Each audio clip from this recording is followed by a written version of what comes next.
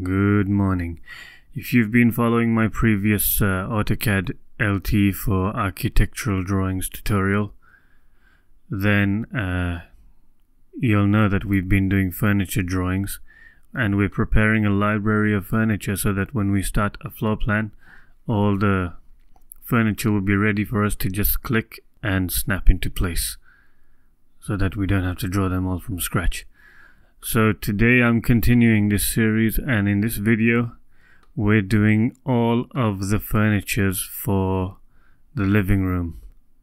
I thought instead of doing uh, one furniture at a time videos, this time I'll just get the whole room of furnitures into one video and you can see uh, how they're drawn. Now in this video I'm not gonna draw everything uh, from scratch because if you've reached this far by now you should know how to draw lines and how to connect lines and dimensions and texts and all the all the little details and some of the tricky details.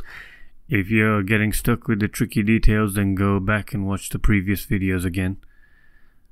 But on this one I've included the dimensions and I'm going to show you one new tool which is the fillet tool and it makes uh, it makes this curve around the corners. So before it's it's like this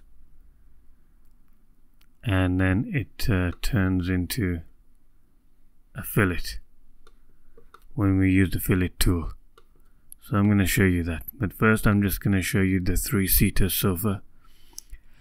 The three-seater sofa according to the metric handbook is 1850 millimeters long and 850 millimeters in depth. Remember that all the remember that you only need the external dimensions. You need you need the external lines to be at the correct dimensions, at the correct metric dimensions. Anything inside, draw it however you like. Um, if uh, if you want to draw um what things what things do uh, sofas have? If you want to draw a half-eaten pizza stuck in the between of your sofa seats or you want to you want to draw a, a dog sleeping on this end of the sofa i don't know. You you know what i'm talking about. If you want to customize anything inside do as you like. It's only the outside dimensions that are of concern. So this is a three-seater sofa. And here is the armchair sofa.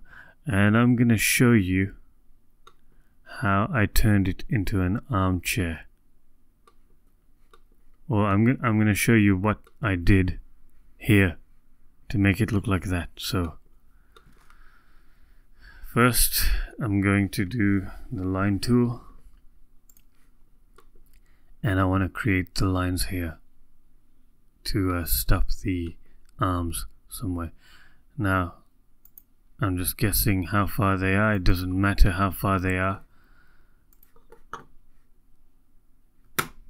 Because these are inside details and you can draw them however you like. This is your architectural project you do as you please. And I'm dragging this over here just to create a guideline because for some reason when I try to uh, use the guideline here it, it won't run all the way through. Okay. And I'm going to get rid of this one. Now I'm going to use the... Hold on, let me check here. So the arms are going to run up to here. So I'm going to use the trim tool, TR, and select the top one or just hit enter on your keyboard and trim these away.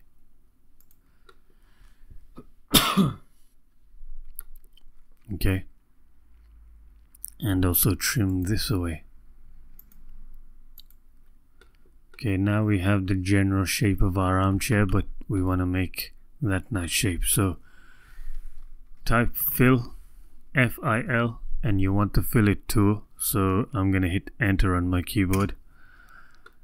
And I'm gonna select I, I want to make this a fillet here. So I'm gonna select my first object. Then I'm gonna go down here and select radius. And the radius I've been playing around with this you can try playing around with it too. I found 45 to look decent. Maybe maybe uh, a lower degree would be even better but I'm gonna stick with 45 for now. Enter and select the second line and it will fillet. The lines like this. So I'm gonna do this for the whole uh, chair now. F-I-L fillet enter and make sure to click multiple from down here so you don't have to keep on typing the tool every single time click multiple and fillet away. Fillet every little bit. Fillet this fillet that fillet this and I think our filleting is done. And there's your armchair sofa or just armchair so that's at 800 and, no it's not 805 because the dimensions changed because we fill it in this. So I'm going to delete those and get the dimension tool and select it from here to here. So it's 850 by 850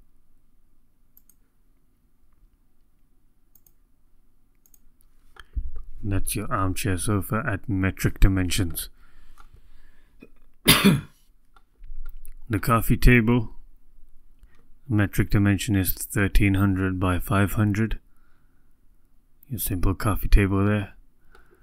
Your armless chair sofa. So a sofa like this but without arms and it's a bit smaller than this one.